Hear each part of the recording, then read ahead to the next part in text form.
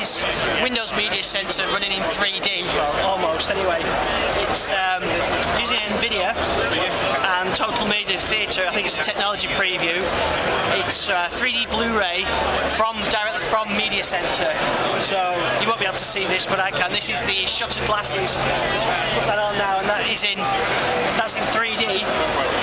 Launched from Media Center, so you don't have to fire up another app or whatever. It's just there in Media Center. I think that's that's really good, and it's pretty low cost. I think, right? I think they said two hundred dollars for the Nvidia kit, and then I guess you're gonna have to pay for your ArcSoft, software and your 3D Blu-rays.